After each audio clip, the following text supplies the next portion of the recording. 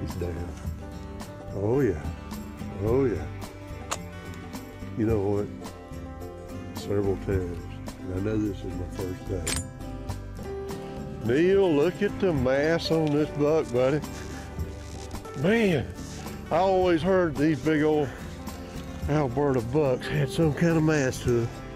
Look at that where he's been rubbing the tree. Yeah, he looks good. Oh, he does look good. Oh, he's got a 11th kicker over here, man.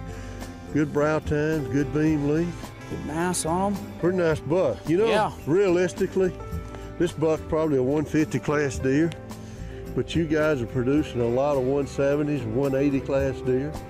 But if anybody comes up here, this is exactly what they can expect.